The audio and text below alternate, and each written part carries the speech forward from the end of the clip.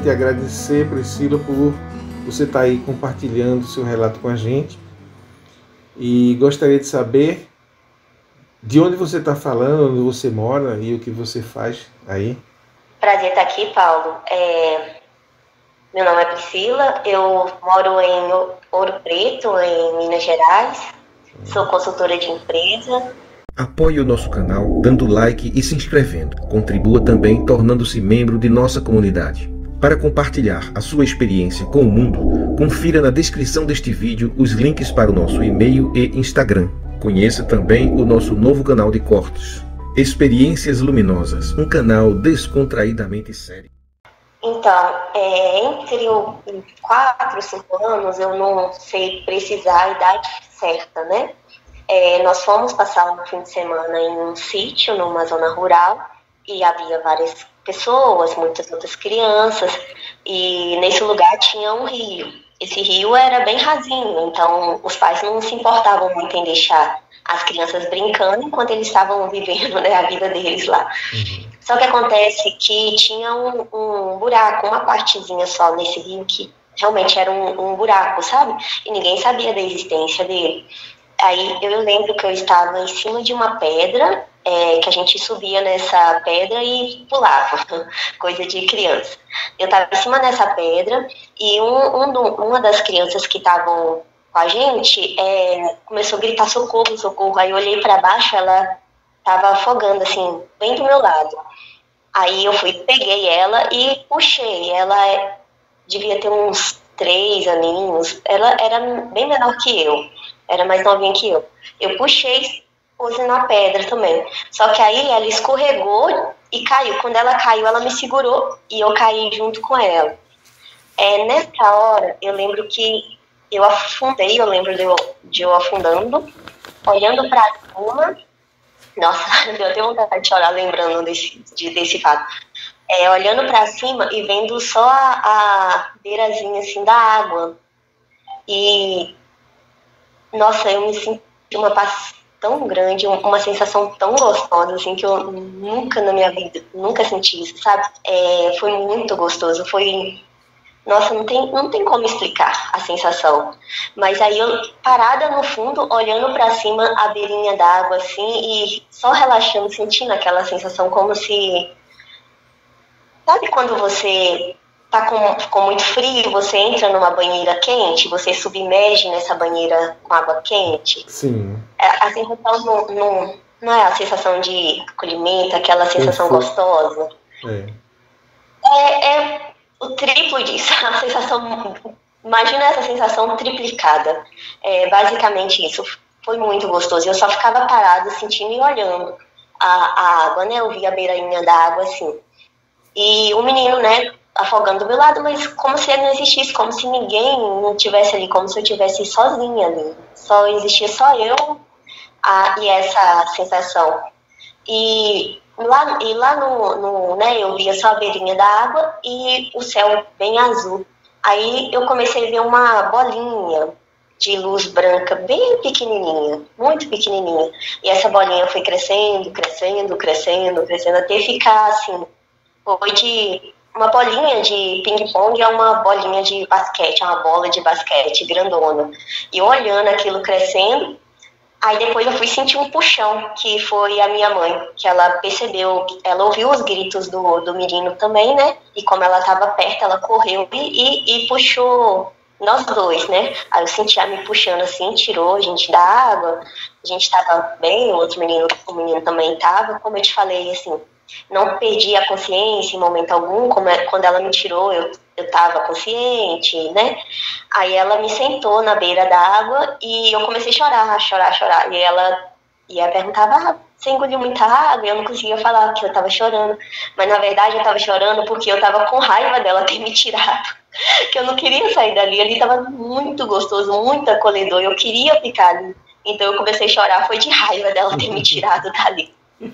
E, é, aí isso, eu não, não, lembro muito bem o que aconteceu depois, é, muitos anos, mas eu, eu lembro muito bem dessa isso, né, a sensação, esse acontecimento nunca saiu da minha mente. E depois disso, é, eu não sei se essa experiência abriu alguma coisa, um leque, não sei o que aconteceu. Mas fato é que depois desse acontecimento, eu passei a ter várias outras experiências, é, passei a ver vultos, é, teve casos, vários casos de premonições, mais pra frente eu passei a ter projeção astral, é, muitos outros acontecimentos depois dessa, desse fato. É, como eu te falei, eu não sei se enquadra em EQM, né? Porque geralmente EQM é quando a pessoa, pelos relatos que eu vi, quando ela chega a ter óbito, né? Assim, ela morre mesmo, tem a experiência e volta, né? No meu caso, não, mas eu acontece que esse é, existem vários é, conceitos de EQM, né? Para medicina propriamente dita, realmente é, EQM, né? É quando todos os sinais vitais cessam, né? O coração para de bater, para de respirar, o, o cérebro des, é, desliga e você morre completamente. Depois você volta e aí relata que teve certas experiências. Mas para efeito da, da nossa do nossa análise, é, a EQM é apenas um, um, uma saída do, do, da, da nossa consciência saindo do corpo. E, e ela não precisa né, do, da morte total física é, para isso acontecer. É, tem muitos casos de afogamento semelhantes ao, ao seu, que a pessoa não chega a morrer. Não chega nem a sentir o afogamento, como você não sentiu. Você não chegou a engolir água, respirar água, nada, né? E, e, no entanto, essa luz aí que você relata, eu já vi várias vezes as pessoas em afogamento relatar isso. Então a gente pode chamar de EQM, por não ter outro nome. A gente poderia dar outro nome, um, é, digamos, uma experiência por afogamento. Ela tem muito essa característica. Mas a gente pode chamar genericamente de EQM, não tem problema. É uma experiência válida necessidade nenhuma de puxar o ar. Não, não, nenhum. Nenhum, como se eu estivesse respirando lá de fora. Pois é, não então. A gente, a gente não precisa dar um nome, mas a gente sabe que isso foi uma experiência diferente, uma experiência que não é do nosso plano, não é comum. Você vê a luz, uma luz que não estava presente fisicamente lá. Você sente o prazer inexplicável de estar diante dessa luz e você não tem a necessidade de respirar. Então, e o desejo de ficar diante dessa luz, de não sair dali. Então, tudo isso caracteriza uma experiência transcendental. Não precisa dar nome, mas é muito comum isso em, em afogamento, em início de afogamento assim. É, não, se afogar isso, eu fico mais tranquila, né? As pessoas que morreram afogadas, eu sei que não sofreram. Não, mas que bom. É, tem várias experiências, muitas são assim como a sua, outras a pessoa sufoca mesmo, puxa água, não vê luz nenhuma, passa mal. É, a gente não pode generalizar, nem todo afogamento é assim. Mas é, parece que existe uma proteção para alguns casos, né? É, como existem tantas outras situações de atropelamento, que tem uns atropelamentos que acontece, a pessoa morre, outros fica é, ferido, mas tem outros que a pessoa é salva milagrosamente daquele atropelamento, né? Porque a gente não sabe, mas tudo tem a ver com a sua história, com o propósito da sua vida, uma série de condicionamentos. Né? Hoje eu acredito isso, sabe? Que você tem realmente uma missão a cumprir aqui. Então a, a espiritualidade te ajuda, tá ali te auxiliando. Hoje eu acredito realmente que, que eu, eu precisava, não, não era para eu ter morrido ali. Nem eu, nem o, o garoto, porque também foi salvo. É. Que a gente tem uma missão, tem coisas a mais para fazer. Tanto que durante a vida toda eu tive várias provas dessa proteção, sabe? Dessa proteção uhum. espiritual. É, o segundo caso, assim, o contato que eu tive com, com o espiritual logo após né, o afogamento é, foi. Eu estava em casa é, de madrugada a casa onde a gente morava antes, é, o, o banheiro ficava lá de fora da casa. É muito comum essas casas mais antigas, é, né? É. Que o banheiro fica do lado Tem de fora. Tem uma fossa lá fora, né? E o banheiro em cima da fossa. Isso. Você tinha né? que atravessar lá, o terreiro era enorme, então você tinha que atravessar todo o terreiro é. para chegar. Você era criança banheiro. ainda nesse, nesse, nesse tempo? Ele foi Olha, eu não, como eu te falei, como eu era muito criança, então não sei te, te falar assim datas, né? Tem coisa e tal, mas foi, eu lembro que foi logo depois disso, sabe? Assim, pode ter sido meses depois, ou se Sim. foi ano, um, ou dois anos só, foi, foi bem perto, sabe? É, e eu acordei de madrugada com muita vontade no banheiro, eu levantei para ir e da minha casa, é, o, o, a cozinha, né, antigamente, hoje não é assim mais, mas tinha como se fosse um degrau. A gente saía do quarto, passava pela sala, ia na cozinha, saía para fora, atravessava o terreiro para acessar o banheiro lá no fim do terreiro. E entre a sala e a cozinha tinha um degrauzinho. Então era um piso inferior, né? E aí quando chegou nesse degrauzinho da, da sala, eu percebi que estava saindo uma luz muito forte da, do vãozinho da porta da, da cozinha, sabe? É, na, nem o vãozinho da porta da cozinha. Que dava para o lado de fora. Luz, ela, dava para o lado de fora. Do lado de fora, passava pela. Eu só via passando assim, pela. Pela, né, pela é, fresta, né? Bom, fresta, pela fresta, a palavra é fresta pela fresta da porta e cobria assim todo o chão da cozinha, até o degrauzinho parecia água, sabe? Parecia que, tava, que jogaram água ali e cobriu. E não passava do degrauzinho para a sala, só ficava no, no chão da cozinha. E preenchia até o, a beiradinha do, do degrau. E era um branco, branco, branco, assim. Eu nunca vi na Terra um branco igual aquele branco.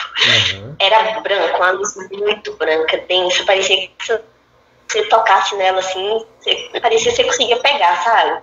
Você olhando que é densa, de tão branco. E nisso que eu olhei assim, eu pensei, não, deve ser a, a luz da, lá da, do terreiro, lá de fora, que alguém deixou acesa, né? Aí eu fui e desci. Quando eu coloquei o, o, pé no, no chão, né? Que eu coloquei o pé na luz, eu tive a, a mesma sensação do de quando eu estava afogando, sabe? Aquela sensação de paz embaixo da água, né? Ali eu senti leve, foi a minha sensação de prazer, mas eu senti leve, senti como se eu nem tivesse corpo, como se estivesse voando. Uhum. Então, quando eu abri, tinha um homem, é, ele tava com uma túnica, você sabe, é, aquele filme de Jesus, que... e os pés dele não tocavam no chão, não sei se precisasse em altura, mas era um, uma pessoa normal, é, pele escura, ele tava com com essa roupa, esse vestido, essa roupa, essa vestimenta é, que a gente vê nos filmes de Jesus, sabe? Sim. Só que muito, muito branco. E a luz estava saindo da roupa dele. No, assim, eu tenho essa imagem da, saindo da roupa. Sim. A luz iluminava o terreno todo. Parecia que estava dia, dia. Assim, nossa, eu não tenho como explicar. Hum. Parecia que estava dia. Tô, e era assim, iluminou o terreiro todinho e ele estava flutuando, não, não tocava os pés no chão. Ele estava de lado, virado de lado. Então, aí ele estava meio que flutuando, né? Assim, de lado, assim. Você corta minha neném, por favor. Sim. E ele estava com as duas, com uma mão assim, como se estivesse em oração, assim, com a cabeça baixa, desse jeito. Sim. Aí quando eu abri a porta e olhei para ele, ele foi levantando a cabeça devagarzinho e olhou assim para mim e, e sorriu, deu um sorriso, nossa, lindo, um sorriso muito gostoso de ver, sabe? Hum. E sumiu, tá? Sumiu. Aí quando ele sumiu, ficou aquele brilho, aquela escuridão. Você, você conseguiu ver, conseguiu ver o rosto dele?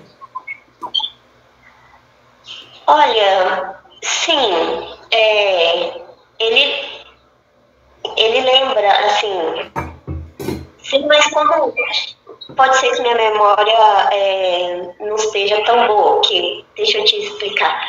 Anos depois, é, quando eu estava já com 20 e poucos anos, 22 anos, muitos anos depois, é, um parente da minha mãe, é meu também, mas é parente distante, eu não, não conhecia, faleceu numa outra cidade, né? E minha mãe pediu para eu acompanhar ela para ir lá nesse, nesse velório.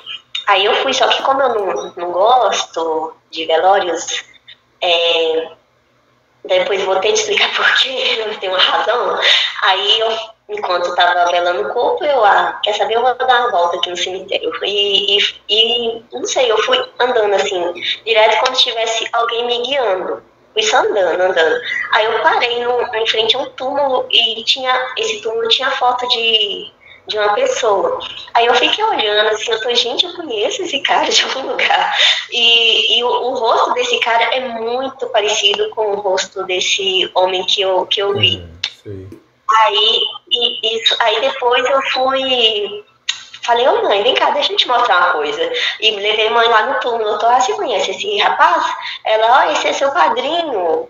Ele faleceu quando você tinha dois anos. Aí eu olhei. Nossa. No meio do cemitério, entre aquelas. Todos aqueles mausoléus lá, você identificou um que era o seu padrinho. Fui direto. Parecia que alguém pegou na minha mão e me levou, sabe?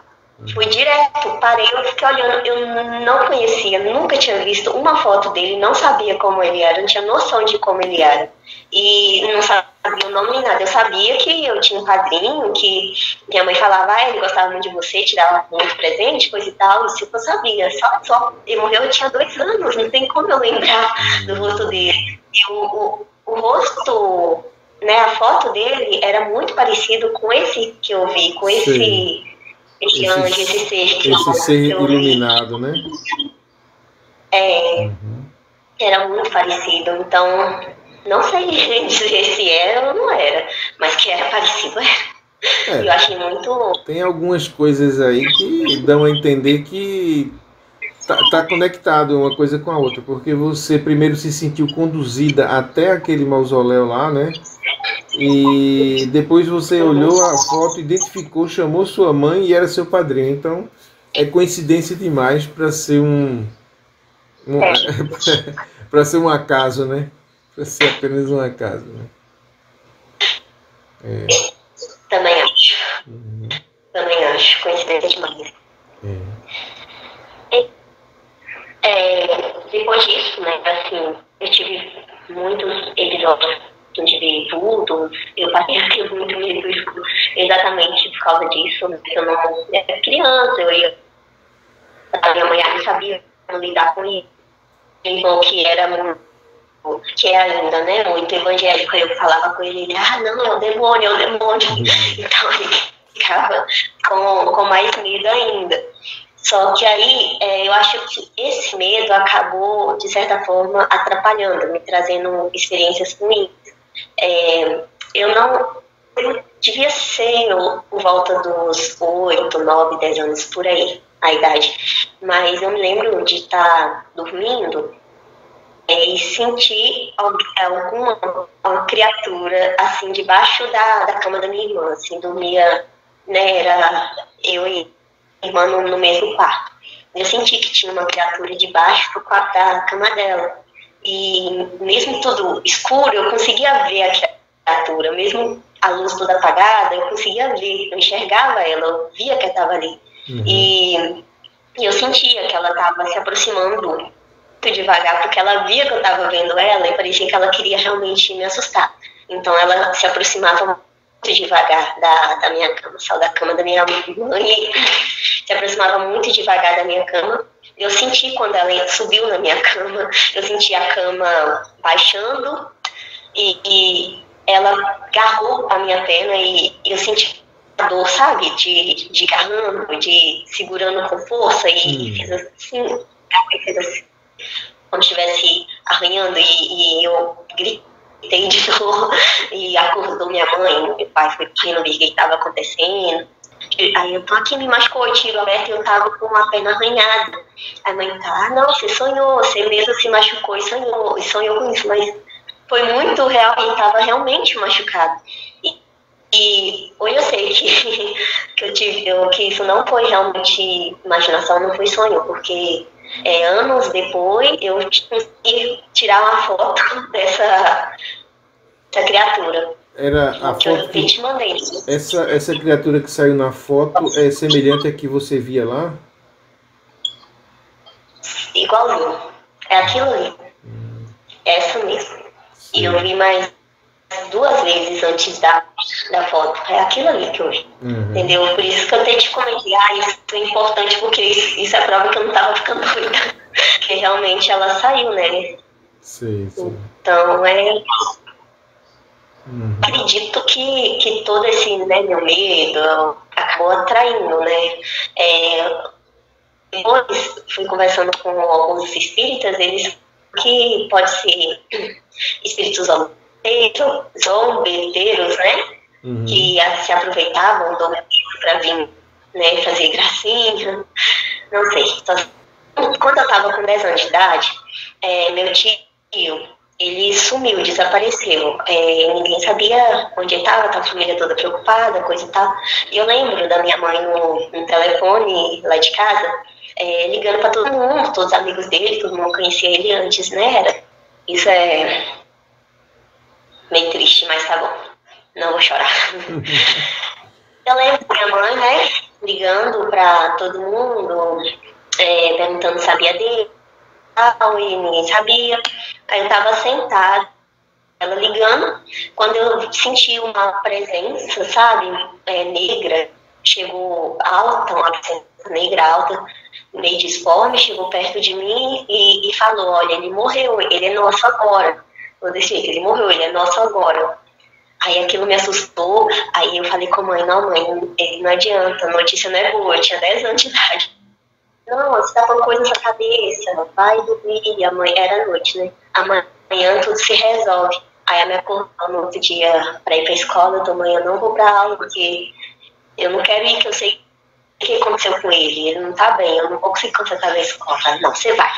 Aí eu fui pra escola, nem entrei na sala. Quando eu cheguei na escola, é, minha irmã já veio atrás de mim falando que, que tinha encontrado ele, ele morto, que ele, ele foi pescar é, caiu no rio e, e afogou. E eu, eu já sabia disso.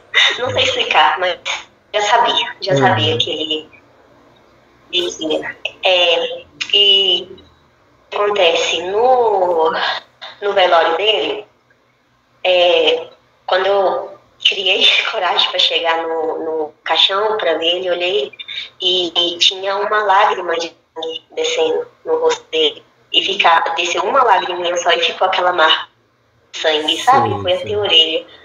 Aí eu, eu olhava assim em volta, tipo, gente, será que ninguém tá vendo isso? Aí eu falei, mas que você tá vendo alguma coisa diferente nele? Não, tá, tá normal. E, e eu vi marca de sangue da, da lágrima, sabe? Sei, sei. E. Era com sangue a lágrima? Ai, é. Era sangue, era. Correu assim, nasceu, né, uma, um, a lágrima. Do olho. Eu olhei pra ele, nasceu a, lágrima olho. É, e foi até a, a, ore- a orelha, uma só, e ficou aquela marca de sangue, assim, sei. até a orelha. E eu perguntei meu primo, né, se ele tinha visto, e ninguém, ninguém viu, aí eu. Não, e, e toda hora que eu olhava, tava essa marca de. de Mas sabe, as essa marca pessoas não viam? Então, Só você via. Uhum. Só eu que vi, só eu que vi. E um tempo depois, né, é, eu estava em casa fazendo casa e eu baixei assim, né, para descansar, eu estava fazendo, aí eu fiz assim para descansar e eu vi assim no canto de olho é, a pé, duas pernas dele, da, era dele, dava para ver com só o, o o short, o short, um short verde, uma bermuda, né, uma bermuda verde, passando assim atrás de mim. Aí eu levantei na hora, para trás, eu vi ele andando, andando, andando, entrando no banheiro e desapareceu. E onde ele a pegada molhada, a pegada molhada. Aí depois minha mãe até me xingou falando que eu molhei a casa toda. Falei, não, mãe, isso não foi eu. E outra premonição, né, que eu tive referente à morte foi da minha avó. Minha avó é uma santa. É, amor, nossa, muita saudade dela. Quando ela morreu, no dia minha avó nunca ficou doente. Ela simplesmente morreu. É como pessoas santas morrem, né? Não sofre. É. Simplesmente vai sem sofrer, né? É verdade. E eu tava na escola, aí eu abri o livro, a professora pediu pra abrir na página, né? Eu tinha 12 anos, tinha 12 anos. Ela abre na página tal. Aí eu abri na página, aí tava escrito, juro, tava escrito, sua avó vai morrer. Juro, tava escrito, eu uhum. li, li, eu falei, que isso? Aí eu, eu, eu falei pra mim, ah, olha, leia o livro. Não, não tem nada no livro, eu tô, gente, eu tô ficando doida. Juro que tava escrito, minha sua avó vai morrer no livro. Eu, não, beleza. Quando foi de noite, ligaram, né, lá pra casa pra dar que ela tinha passado mal de manhã, mais ou menos na hora que, que eu tava na escola e foi falecer seis horas da tarde. Então, nossa, isso foi também. E ela estava boazinha, e... ela não tinha nenhum problema, né? De saúde. Nenhum problema, nenhum problema. Sabe, é, depois que eu fui saber que minhas primas foram me contar que é, uma semana antes dela morrer, ela falou que tinha um sonho que ela ia falecer. E ela tinha uma missão que ela falou que era orar por, por todos os membros da família, por todo mundo. Ela tinha anotado o nome de cada membro da família. E, e todo dia ela sentava na igreja e orava por cada um. E ela passou essa missão para uma amiga dela. Ela virou, olha, agora a missão é sua, porque eu não vou poder então você continua para mim. Entregou o caderninho amiga dela. Isso uma semana antes dela falecer. E ela não tinha doença nenhuma, ela era muito saudável. Era velhinha já, mas muito saudável, sabe? Uhum. Ela foi, assim, de uma forma muito bonita, né? Que ela despedir os filhos, ela foi na casa de todos os filhos, se despedir deles, deu essa missão para essa amiga dela. Então, minha avó santa. Despediu da gente, a gente morava bem longe da, da, de onde ela morava, né? Hum. Então, ela despediu da gente depois da morte dela. Quando nós chegamos chegamos em casa após o velório, é, foi todo mundo para um, quarto conversar e eu fiquei lá na sala assistindo televisão. Aí do nada a TV desliga e ela surgiu é, como se estivesse descendo do teto, sabe? Ela surgiu assim do meu lado como se ela estivesse descendo do teto, olhou para mim e falou assim: dá tchau para todo mundo por mim. Sorriu e sumiu. Aí na mesma hora eu levantei e falei, a vovó veio despedir de todo mundo, pediu pra eu dar tchau pra todo mundo. O pessoal não acreditava, né? Você é doida. Eu fico assistindo muito filme de terror, tem que parar isso, com isso. Isso foi quanto tempo depois Mas, da morte dela? No, no, dia, no, após o velório, né? A gente foi pro velório, pro enterro e Logo ficamos após, aqui, né? voltamos pra casa no, no dia que a gente. Logo após. Uhum. Que aconteceu, foi muito lindo, foi muito bom, assim. Me sinto muito é, privilegiada de ter conseguido ver que ela estava bem, ver aquele sorriso lindo a última vez e despedir dela, sabe? sabe? Mais, é, agora, mais pra frente, né? Depois, assim, quando eu estava com uns 14, 15 anos, eu ia mudar de cidade para estudar. Vim até para Ouro Preto, eu morava em outra cidade, aí eu vim para Ouro Preto para estudar. Só que antes de vir, eu tive um sonho não muito agradável. Eu sonhei que eu estava indo para uma casa, que essa casa tinha uma escada gigantesca, uma escada enorme, que tinha é, três casas, né? Uma é, a de cima, onde morava a, uma senhora, embaixo que era a República, e um porão. Isso foi no sonho. E um porão embaixo.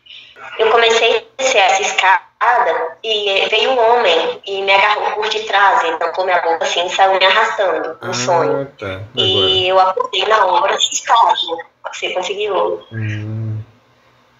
Eu acordei na hora assustada, né, porque foi muito real, eu senti mesmo a mão né, do cara assim, eu, nó, muito assustada, que o estava passou.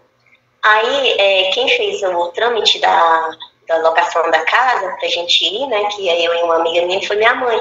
Então eu não conhecia, eu conheci só o dia que eu fui mudar mesmo. Quando eu cheguei lá, Paulo do céu, era a casa do sonho que eu tinha sonhado. É a escadona gigante, a casa, até, até a, a senhoria, a senhora que, no meu sonho, né, que ela alugava a casa, era a mesma.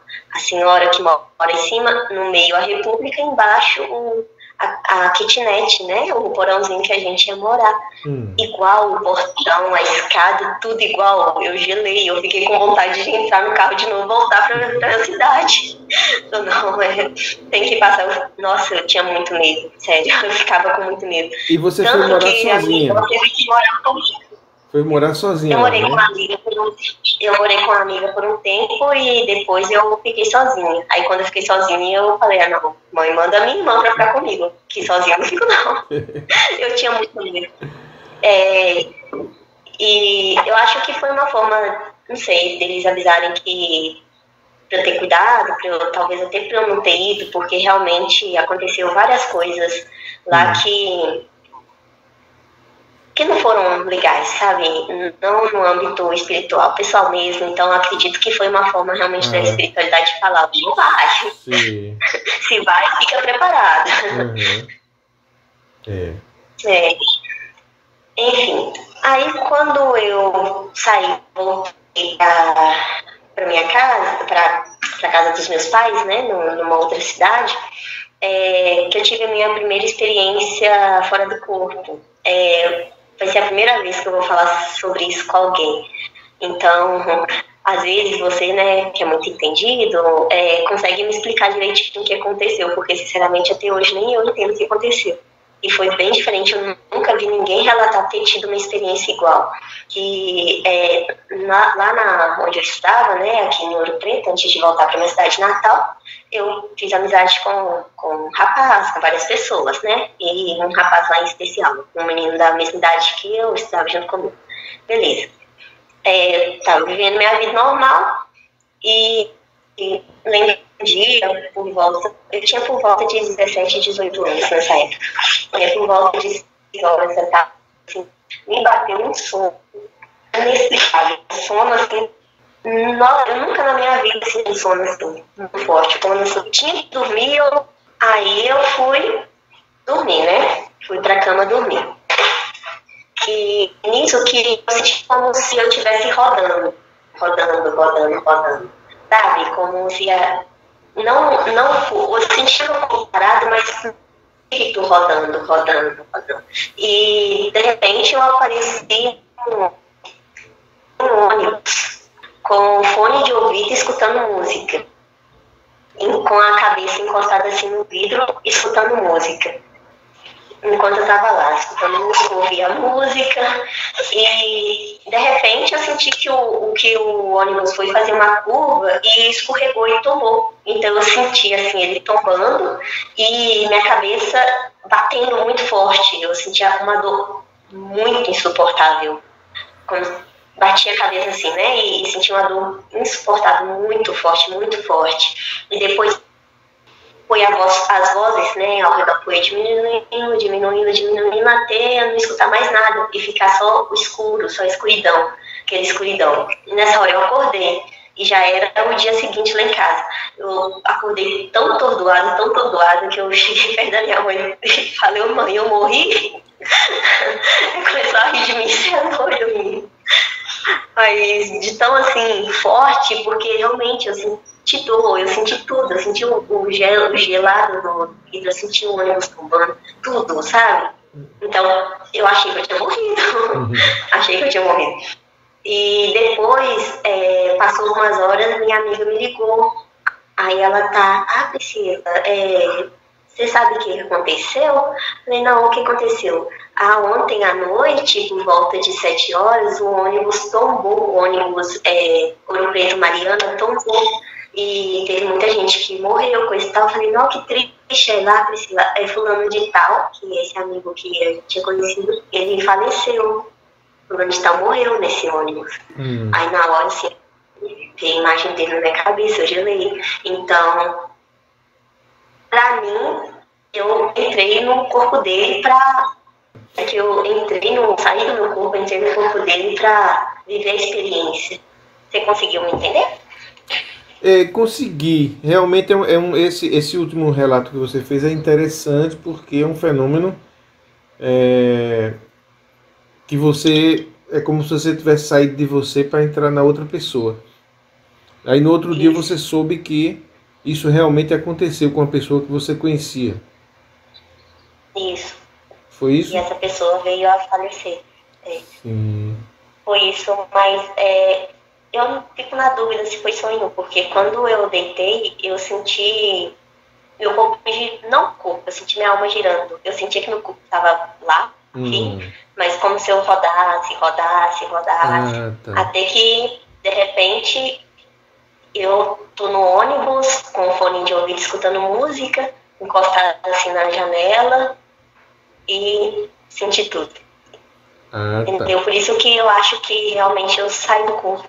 É como se você tivesse saído de você mesmo e tivesse entrado nele para viver aquela situação. É, é parecia que é, não sei explicar, mas é parecia que realmente eu, eu tive que viver essa situação. Não, não sei se ele viveu também ou se a mim, se, né, se precisava de mim para talvez amenizar, não sei, talvez para ele não sentir tanta dor, não sei, não sei. É, né? Sabe? Como eu te falei, eu até pesquisei assim, várias coisas, nunca ouvi falar de ninguém relatando algo parecido. Olha, na verdade, é, como a gente sabe, né, através dessas experiências de EQM e de experiências fora do corpo, de que existe uma conexão entre todos nós, que todos nós somos, na verdade, um só ser. Então você pode é, sentir o que outra pessoa está sentindo eu, eu já soube de um caso assim parecido. Tem até no meu canal. O caso de uma é. senhora que ela estava em casa. Ela disse assim que sonhou que estava sendo atacada por dois homens que arranhavam ela, tentavam violentar ela. E ela estava dormindo. Ela acordou com essa sensação, estava sendo violentada, eh, agredida. Mas ela não entendeu o que foi. Ela só foi entender no outro dia, quando ela saiu e soube que ali na, na rua dela, uma mulher tinha sido assassinada numa tentativa de estupro por dois por um homem, por um homem, era um homem só. E ela chegou a identificar quem era esse homem. Ele morava na rua também, era um vizinho lá. Ela quando olhou para ele identificou que foi ele que matou a mulher e ela se sentiu naquela hora no corpo da mulher, como se a mulher fosse ela. Mas ela estava numa outra casa, na mesma rua, mas noutra casa. Então ela, ela é como a mesma coisa que aconteceu com você. Ela se transportou lá como se ela fosse a mulher. Ela sentiu o que estava acontecendo com a mulher, só que não era. Era, ela estava longe daquilo. É, então eu acho assim, falando, a gente não consegue explicar, a física não explica isso ainda mas existe uma conexão entre nós, uma conexão energética. E algumas pessoas que têm mais sensibilidade é, em perceber essas energias conseguem se conectar em certas situações de estresse, assim, de perigo, entende? Então, foi o que aconteceu com você. O que explica isso é a unidade que existe entre a gente. Unidade como energia. Não, e o corpo aparentemente está separado, né? Aí dá essa sensação de que estamos separados, mas nós estamos conectados. Estamos e, e aí é bem possível que tenha sido só isso. Você, você tem essa capacidade de perceber energia, né? E aí você se conectou com ele naquela hora, já que era uma hora de perigo. Entendi. Nossa, bacana. Eu não sei porquê, nas horas de perigo, até antes de acontecer, é, a gente se conecta com aquilo, né? Ou tem uma visão, ou tem um sonho antecipado. É, no seu caso, foi talvez na hora que estava acontecendo. A gente não sabe explicar, mas sabe que existe, que é real, porque é, se não tivesse acontecido o fato, poderia ter sido apenas um sonho, uma alucinação, mas como aconteceu o fato e você sentiu, não tem como não dizer que isso não, não, não existe. Existe esse fenômeno. Agora a gente não sabe explicar. Aí já é, é outra história, né? Ainda, né? um dia saberemos, né? Um é. dia teremos a explicação. Mas é isso, a unidade, a unidade que existe entre a gente explica isso. Isso. É, esse foi né, a primeira vez que eu saí do corpo. É, saí por mais três vezes. A segunda vez, é, eu estava em casa com a minha irmã assistindo um filme na, na Copa. E acabei dormindo. Nós duas acabamos dormindo lá. E foi, foi a mesma coisa. Eu senti assim, rodando, meu corpo parado e como se meu espírito estivesse rodando, rodando e de repente eu apareci na minha cama. Só que para mim eu tava, eu tinha levantado minha cabeça, eu tinha, tinha levantado da sala e ido pro quarto dormir lá. Aí eu levantei com, com vontade no banheiro, levantei e saí andando. Aí quando eu cheguei a sair do meu quarto, assim, é, a saída do meu quarto já dá direto pra copa. Levantei e saí. Aí quando eu saí, eu vi, né, esses dois homens, né, é, altos, com roupa escura, pele branca, mas a roupa blusa preta, é, calça preta, sabe? É, a pele muito branca, cabelo muito preto, muito negro, mais ou menos na mesma altura, estavam parados em frente à minha irmã, olhando para ela. Parada assim, olhando para ela no chão, que a gente tinha, né, colocado o colchão no chão, hum. É, ela deitada de um lado e o do, do outro. Aí tava olhando assim para ela, para baixo. Aí na hora eu achei que era alguém que tinha invadido para assaltar, né? E eu fui confrontar ele, doido, né? Hum. Quer dizer que e esses homens, a aparência deles é como se fosse material mesmo, de um homem de verdade, de carne Pessoa normal, um homem, eram dois homens, pele muito branca hum. e só tava com, com roupa preta, né? a calça preta, mas eram pessoas, para mim era algum bandido que tinha invadido a casa. Sim. Né? A minha era isso, entendeu? Aí eles me viram eles, quando você só chegou. parados, cabeça baixa, olhando pra minha irmã. Quando você chegou da, do quarto, eles perceberam você. Aí viram que você estava fora do corpo. É, quando eu, eles perceberam, porque quando eu vi eles, eu fui correndo em direção a eles, né? E, e, e gritei: O que, é que vocês estão fazendo aqui? Eu vou hum. chamar a polícia, sai daqui. É. Aí que eles me perceberam, aí eles assustaram, eu vi assim, sabe quando você leva um susto, eu sou um que é isso, aí eles assustaram e olharam para mim, assustados, aí os dois olharam para mim e depois olhou para baixo. Aí eu fui seguir o olhar deles para baixo, eu fui ver meu corpo deitado Sei, no, na posição que eu tava né, assistindo o filme, aí eu vi, aí um deles olhou pro, pro outro e falou, ah, já que, né, que ela não tá, não, que ela não tá lá, já que ela não tá lá, eu vou assumir e veio em direção ao meu corpo. Aí eu fui, uhum. fiquei assustada, não tive nem tempo de pensar, só pulei. Pulou antes dele, né? eu pulei e na mesma hora acordei. Aí eu acordei mesmo, acordei assustada. Sei. Aí só tava você e ela lá. É, aí eu acendi a luz da casa toda, olhei entrei debaixo da cama pra, procurando alguém e, e, e só tava nós dois, não tinha mais ninguém. E como eu te falei, eu percebi que foi uma experiência espiritual por causa da, da cena, né? Que quando eu, antes de ver os dois homens, né? Quando eu saí do quarto, eu olhei pra TV, né? Então, é, tava passando, né? Um filme. Então, eu vi que continuava passando é. o mesmo filme. Eu, uhum. E como que eu poderia saber, sendo que eu é. estava dormindo? Então, então, realmente, foi algo não natural que aconteceu ali. É, é possível um um espírito entrar dentro do outro nessa, nesses casos de projeção? projeção? Olha, é, eu já vi muitos casos assim de incorporação, né? De um espírito assumir o corpo da outra pessoa. Já vi vários relatos.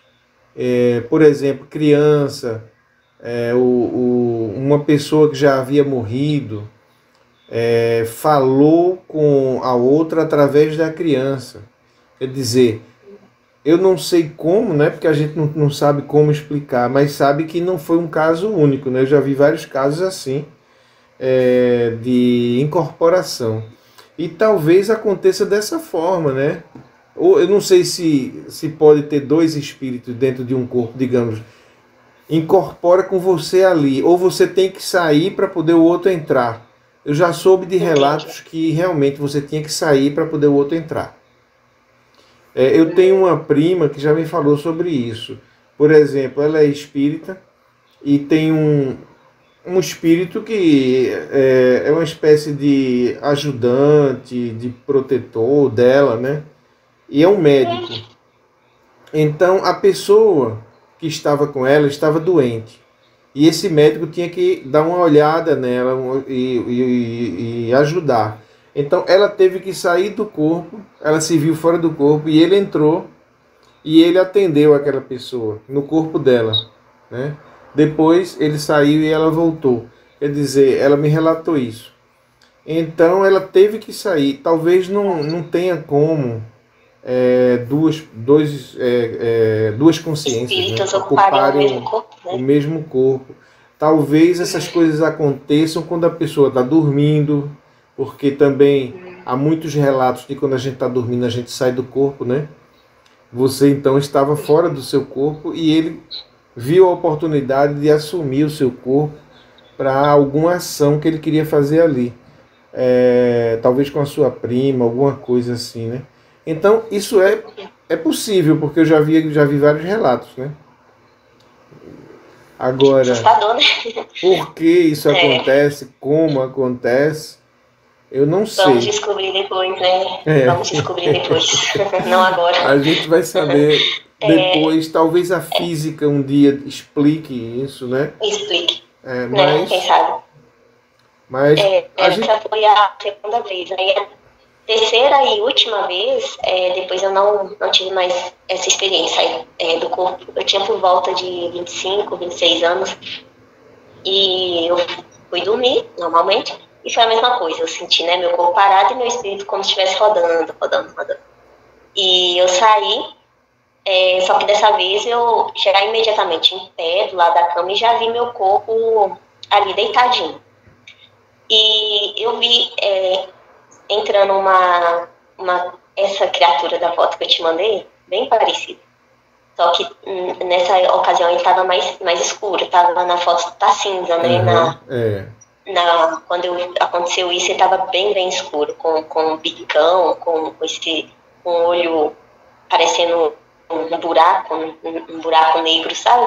E ele não caminhava andando, né? Ele meio que flutuava, assim, como se estivesse arrastando, como você sabe tobogã, quando você desce assim, tobogã de água, você uhum. vai assim, ele, ele andava assim. Aí eu vi ele vindo da copa, andando assim, virando, entrando no meu quarto e indo até a mim.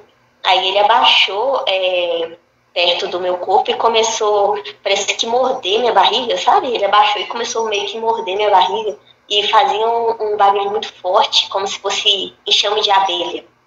Parecia um enxame de abelha, o barulho. Sim. Muito alto. E eu não senti medo, porque eu ouvi. Não é que eu ouvi, eu senti como se alguém falasse: olha, ele não se preocupe, ele não pode fazer mal. Ele não te enxerga, ele não pode fazer mal. E realmente ele não interagiu comigo, assim, como eu espírito. Ele não, não percebeu que eu estava fora. Aí eu só observei ele fazendo isso, depois ele levantou, atravessou a, a parede em direção à, à rua e sumiu. Aí nessa hora eu voltei pro meu corpo e acordei. Hum. Aí eu fiquei. Quando eu voltei pro meu corpo e acordei, aí eu fiquei com medo. Aí, eu, aí me deu medo. Na época eu morava sozinha, eu não sabia como dar com isso. Na hora que tava acontecendo, não, porque essa. Não foi voz, não foi falado. Como que eu te explico? Foi sentido. Ai, não tem como explicar. Porque não foi alguém que chegou e falou, olha, não se preocupe, ele não pode fazer mal. Não foi alguém. Foi uma eu, informação, eu né, que chegou, né? Chegou a informação. É, isso, isso, isso. Então eu não senti medo. Eu fiquei só observando, tranquilo, como se estivesse assistindo um filme, sabe? E só que quando eu acordei, aí...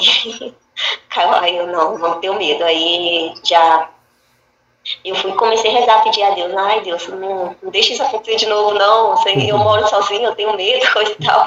Aí eu não sei se Deus atendeu minhas orações, eu sei que eu nunca mais saí do corpo depois disso. Uhum. Nunca mais tive nenhum episódio assim. É, e foi o, o último. Que realmente. O penúltimo, né? Gente, encontro com.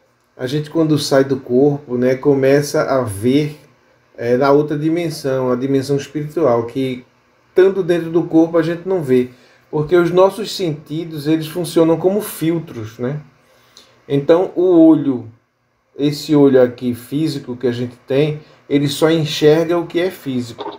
é, dentro daquele espectro de luz que ele alcança, né? É, mas quando a gente sai do corpo, aí a gente consegue ver também com os olhos do corpo energético que a gente sai. Aí a gente vê coisas semelhantes a ele, né? Vê energias e tal, escuta coisas que normalmente no corpo a gente não escuta, né? É, há poucos dias aconteceu uma coisa comigo interessante. Eu nunca tinha me sentido saindo do corpo, mas esses dias atrás eu tive uma gripe muito forte não sei se foi por conta da gripe, mas foi num dos piores dias da gripe que eu estava meio de cama mesmo, de noite. Eu senti sair do, do meu corpo e ficar assim a uns dois metros de altura, né? Eu percebi o meu corpo assim na visão lateral. Eu não olhei diretamente para ele, mas eu percebia. E quando eu me senti fora do corpo, é como se eu estivesse no espaço, sem peso nenhum e eu achei aquilo muito legal, tá, tá no espaço. Eu comecei então a brincar, dar um giro assim, umas cambalhotas no ar. E quando eu percebi que eu estava totalmente leve, eu, eu peguei numa uma barra, alguma coisa que tinha assim também nesse ambiente, comecei a fazer ginástica assim, ó. Como eu, uma coisa que é difícil fazer, que é o, o marinheiro, que a gente faz aqui com o peso do corpo muito grande, lá eu fiz assim, brincando.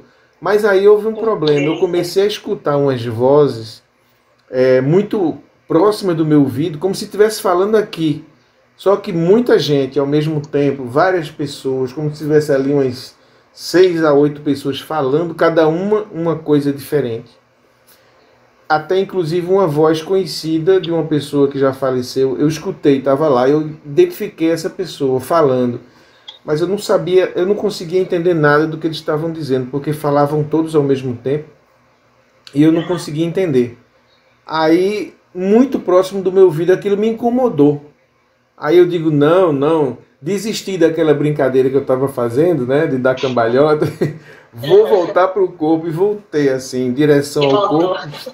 Voltei, parou aquela zoada, parou tudo, né? Então, é, eu, já tinha, eu já tinha ouvido falar de alguma coisa semelhante a isso, um relato, de ouvir muita gente falando ao mesmo tempo, sabe? Então, eu só escutava e só. Eu não via nada, eu só via.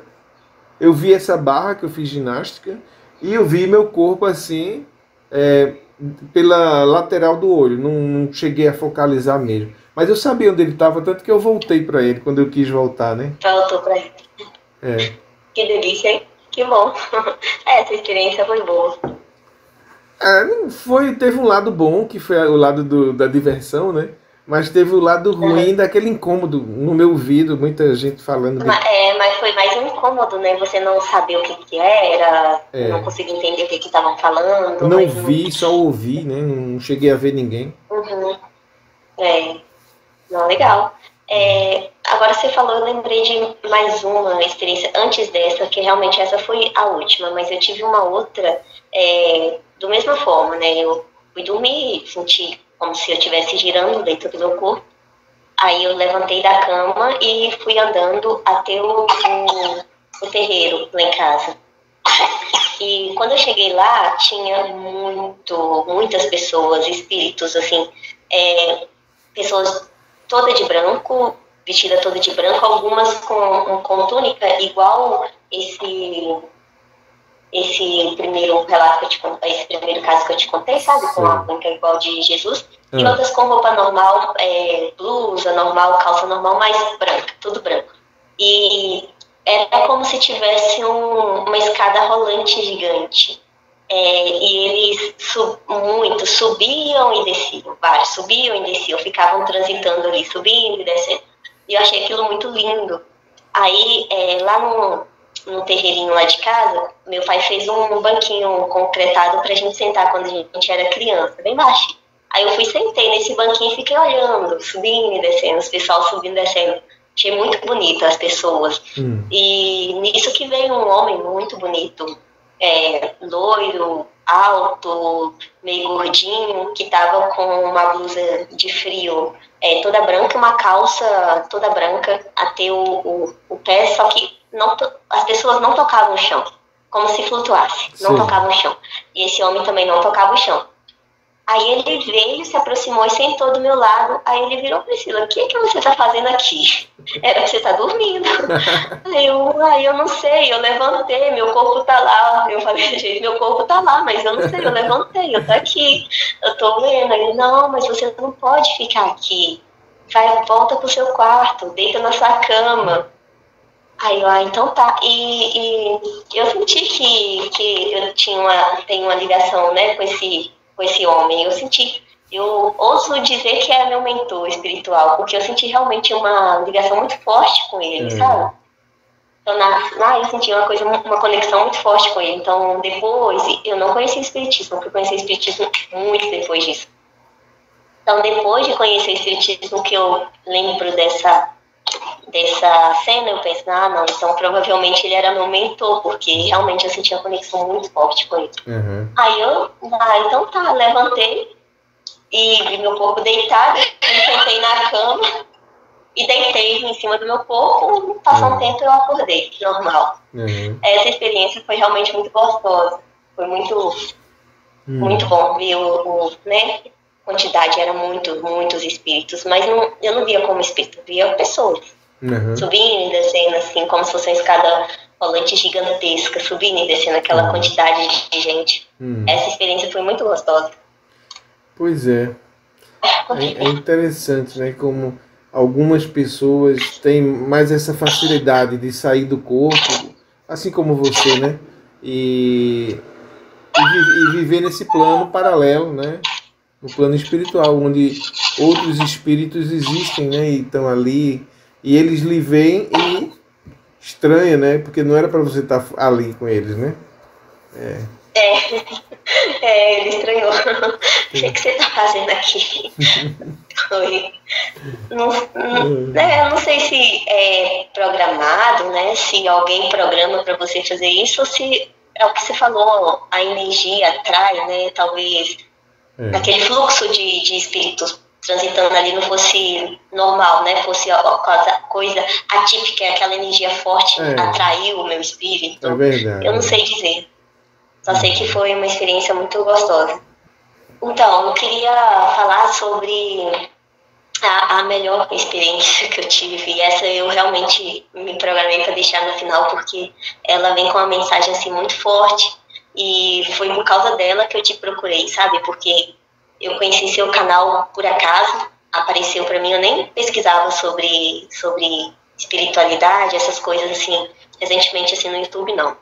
Aí seu canal apareceu para mim, eu comecei a ver os relatos na hora, veio aquela intuição na hora, tem que contar porque tem pessoas que precisam ouvir essa mensagem, hum. porque foi uma mensagem que foi passada para mim, mas é para todo mundo. é para todo mundo. Uhum. Então eu, eu preciso te contar. É, como eu te falei, eu fui conhecer o, o Espiritismo muitos anos depois de, desses eventos que eu te contei. Eu devia estar com uns 28 anos por aí, eu tenho 31 hoje. Então foi muitos anos depois. E eu vim de uma família muito religiosa, muito católica. Então falavam que era coisa pro demônio, né? Que espírito é coisa, eu te contei, né? Que falaram isso pra mim, né? Espírito é, é coisa demônio, por isso que eu sentia tanto medo. Uhum. E só que muitas coisas que eu achei, eu não sou espírita, eu não tenho religião, não, não tenho rótulo nenhum, tá? Mas muitas coisas que eu vi assim no, no espiritismo, é, eu meio que já sabia, que nem, por exemplo, reencarnação, ninguém nunca me falou de reencarnação, mas é como se eu já soubesse que existia, não sei te explicar. Sim como se eu já soubesse, sem ninguém nunca ter me contado. Então eu ficava muito é, na dúvida, muito assim, ai meu Deus, será que é coisa demônio, será que não é? Eu ficava muito assim. E eu rezava pedindo a Deus para me mostrar qual o melhor caminho. E eu lembro que eu assisti o, o filme do Chico Xavier e aquele me tocou muito a história dele, muito, muito. Eu me senti muito conectada a ele. E e nisso que é, uma pessoa que é de uma outra religião virou para mim e falou que eu fui comentar com ela, ah, olha, esse filme é muito bom, tá, tinha passado na, na TV. Ah, você viu? É muito bom. Não, eu até desliguei a TV. Esse cara tá queimando no inferno ele vai sofrer o resto da vida, está é, proporcionando o mal, está colocando o diabo na casa das pessoas, ele vai, ele tá queimando, vai, vai sofrer o resto da vida. Aquilo me chocou, porque eu me senti muito conectada a ele, sabe? Ao Chico Xavier. Achei a história dele fantástico. E eu lembro que nessa noite eu comecei a chorar, rezando, pedindo a Deus, Deus, se for verdade, por favor, salva a alma dele. Tenho vergonha de falar. Mas é isso. Não deixa ele sofrer, é uma pessoa boa, uma pessoa que só quis fazer o bem, talvez ele foi enganado como todo mundo, coisa e tal, chorando mesmo, de soluçar, rezando. E eu adormeci. Aí é, eu lembro de, ter, de estar num, em frente a um cemitério. Só que esse cemitério não tinha tumbas, só flores muita, muitas flores lindas, maravilhosas, assim, com cores muito vivas, sabe? Cor mesmo, no, cor viva, cor, não é nada apagado. As cores daqui da Terra apagado, uhum. em compensação das cores dessa desse cemitério. E o cheiro, ai que delícia, assim, eu senti o cheiro. É uma coisa muito real, muito real, senti o cheiro. E eu tava em frente a esse cemitério, olhando as flores, e para um táxi na, na minha frente. E, e, a, e quando abriu o vidro, era Jesus com a, aquela roupa típica do filme, cabelão, barba, e eu olhei, aí eu ajoelhei assim aos pés dele, comecei a chorar, mestre, falando, mestre, chorando. Ele, aí ele só, nossa, ele olhou para mim com a voz assim, como que eu descrevo a voz? Não, não tem como descrever. Não tem como. Assim, suave, é uma coisa. Nossa, é tão linda, assim, que parecia que. Nossa, no, parecia nota musical, assim, linda, uma melodia linda, uma voz. Não tem como descrever. Impossível. Uhum. Não existe palavras humanas que descrevam a voz dele. Não existe, não existe. Mas, nossa. E ele, tá, ele virou para mim e falou assim: é, aquieta seu coração, entra aqui que eu quero te mostrar uma coisa. E a porta da parte de trás do táxi abriu. Aí eu entrei. Aí ele passou, foi dirigindo assim numa ruinha. As ruas eram todas é, de paralelepípedo, né? Todas assim de paralelepípedo. Tinha várias casinhas, tinha. Era uma cidade mesmo, normal. A cidade parecia uma cidade histórica, bem parecido com, com Ouro Preto. Hum. E aí ele entrou numa rua assim mais reta, deu umas voltas, parou em frente ao, ao cemitério. Aí ele foi, olhou para mim e falou: é, Espera, que eu ainda não te mostrei. Fica aí que eu vou te mostrar uma coisa. E foi para um outro caminho. Aí ele subiu um morrão, foi reto, desceu, virou e voltou para o mesmo lugar, parou em frente ao cemitério. Aí ele olhou para mim e falou: A gente ainda não chegou. E foi de novo. E passou para um outro caminho, totalmente diferente dos outros dois, e parou. Aí ele olhou pra, no mesmo lugar, parou em frente ao cemitério, mesmo lugar que ele pegou, e olhou para trás. Aí eu tô, mestre, eu não, não tô te entendendo, eu não tô entendendo o que, que você quer me mostrar. Aí ele virou para mim e falou: Olha, não importa o caminho que você pegar, tem caminhos que são mais fáceis, são, tem caminhos que são mais difíceis, tem caminhos que são mais longes. Mas se você estiver comigo, se eu estiver te conduzindo, seu destino vai ser sempre o mesmo. Hum. Uhum. Ai, deu até vontade de chorar, tão forte. Eu escrevi essa frase assim pra eu não, não esquecer, sabe? Eu escrevi essa frase pra, pra eu não esquecer. Foi muito forte. Se estiver e nessa com hora Jesus... eu acordei, me sentindo assim, como se uma, uma paz inexplicável, me sentindo bem. E, eu, e nessa hora eu tive certeza, não, eu não, não vou me rotular, Deus não não tem religião, não tem rótulos. É só seguir o que, o que Jesus pregou. O que, que Jesus pregou? O amor. Uhum. Se você seguir o amor, se você deixar o amor te conduzir, não importa o caminho que você pegar. Ah, você sempre vai parar naquele jardim de flores maravilhosos, uhum. entendeu? Sempre. É. Então, você não tem que ficar preocupando. Aquieta seu coração. Você não tem que deixar se corroer por, por uhum. preocupações. É. Só confiar, confia em Jesus, confia no amor. Uhum. Entendeu? É exatamente isso. É uma mensagem realmente muito, muito útil, né? Para os tempos de hoje.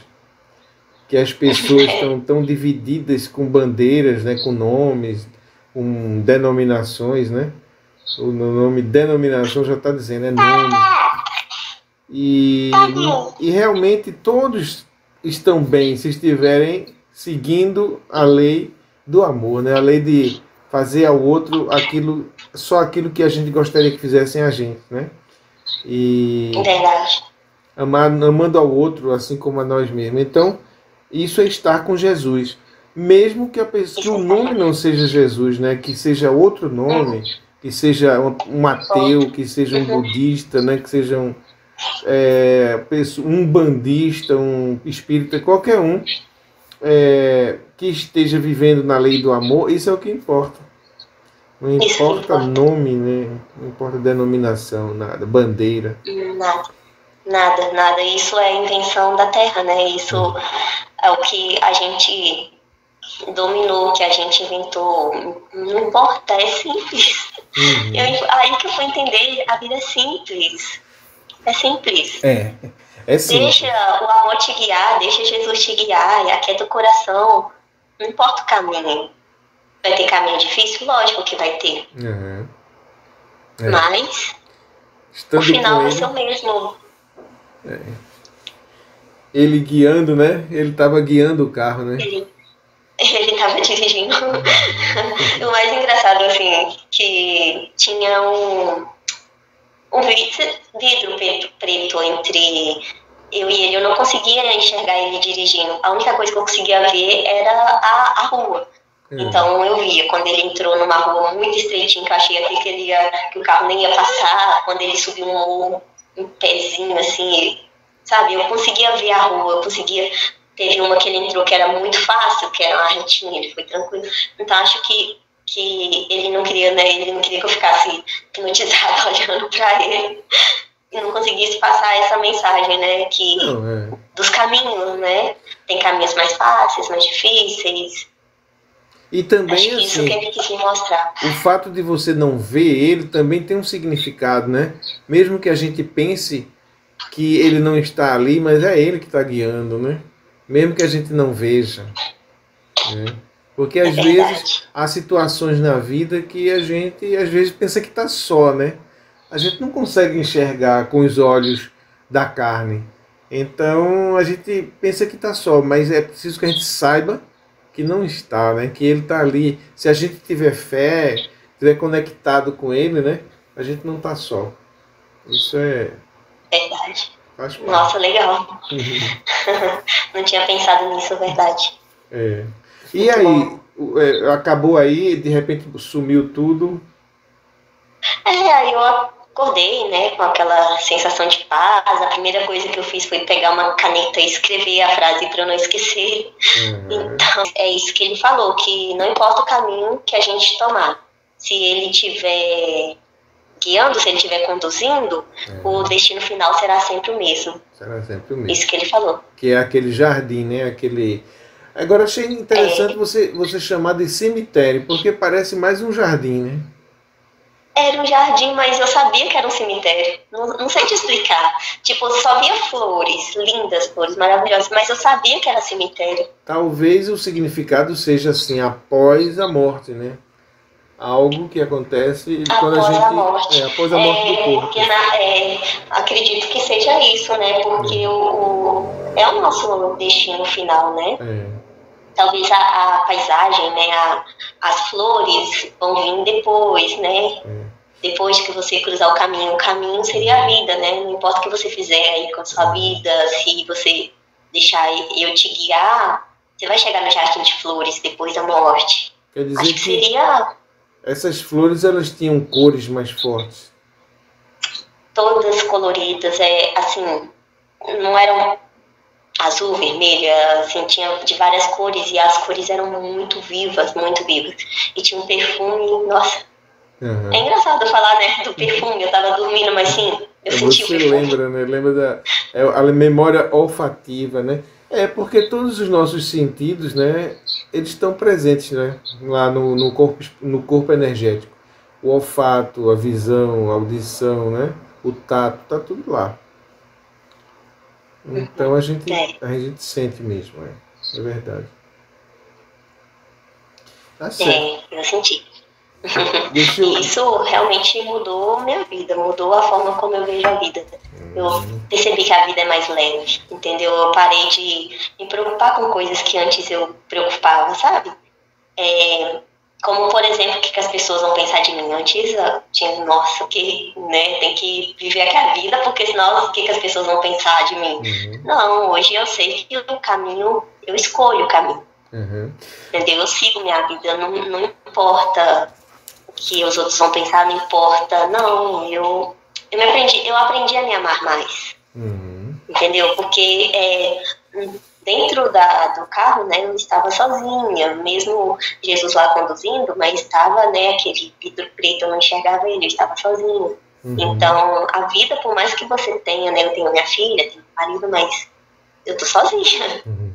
Eu tenho que aprender a me amar, tenho que aprender a cuidar de mim, tenho que uhum. aprender a, a viver, a tomar os caminhos, a, a saber conduzir, entendeu? Tem uma a dimensão tem uma dimensão que é nós com nós mesmos, né? Que é nós com nós mesmos. É. Que é o que vai definir qual caminho que eu vou tomar. Não é meu marido, não é meu pai, não é minha mãe. É. Sou eu. E o, o que, que vai me guiar? Jesus, o amor. É. Né, para quem tem outra religião, né, que não acredita em Jesus, o amor, que é a mesma coisa, né? É. Então, eles que te guiam. Então, você tem que aquietar o coração e uhum. deixar né, a, a, vida leve. A gente às vezes vive, principalmente agora, né, né com a tecnologia, trabalho, home office, né, as mulheres agora é, querendo se empoderar, né, então estão se matando para ter ser a mãe perfeita, ser a trabalhadora perfeita, a esposa perfeita, não. Isso não existe. É verdade. Caminho, nenhum caminho que ele passou era perfeito. Nenhum caminho. Todos tinham mais fácil, mas não era perfeito. Uhum. É verdade. Tem um fácil, mas não é perfeito. Então, pra que se preocupar? Entendeu? Em, em ter isso, ter a perfeição, em ter a aprovação das pessoas, em querer ser o que você não é. É, exatamente. Isso é um peso enorme, né? É isso, as pessoas hoje se preocupam tanto né, com, com, aparência, né, com, com uhum. é, não só do corpo, mas das coisas, né? A casa tem que estar tá muito bonita, o carro, né? E uhum. isso é um peso né, pra gente, a vida podia ser muito mais leve, né? Se a gente der importância às coisas mais simples. É... Pois é. Mas é assim mesmo. Que não tem tanta importância. É. Uhum. Minha avózinha, você falou das coisas materiais, minha santa avózinha falava que tudo que a gente tem aqui é empréstimo. Isso Exatamente, tudo nos foi emprestado. É, a gente não e depois a gente vai tem que deixar devolver para poder ir embora. É. é falava assim. A tudo gente é usa as coisas, mas é, a gente não deve ser usado por elas, né? Às vezes, não deve ser usado por elas. Às vezes eu Verdade. Uhum. Verdade. Uhum. Tá certo. Então, muito obrigado pela sua contribuição. Eu que agradeço, Paulo. Hoje não foi nada fácil, foi né? Bom. O bebê aí reclamando, é. querendo a mãe para ele, e você tendo que se dividir, né? A internet não colaborou muito, mas Nada, nada colaborou. Mas se eu conseguir passar essa mensagem que foi me passada, o, o resto não importa. O resto você pode deletar. Exatamente. O que importa para mim é passar essa mensagem. Uhum. Mas, mas deu tudo certo. Vai dar para a gente é, fazer uma edição e deixar as partes boas aparecendo. E o ideal, o legal é que nesse final, agora que a mensagem principal estabilizou aí a, a, a internet e depois passar bem. Uhum. Você viu a espiritualidade ajudando a gente, né? É. Uhum. Tá certo, Priscila. Então, muito obrigado e a gente vai, vai se falando, tá? Tá ok. Muito obrigada pela oportunidade. Obrigado também. Virada da noite aí comigo.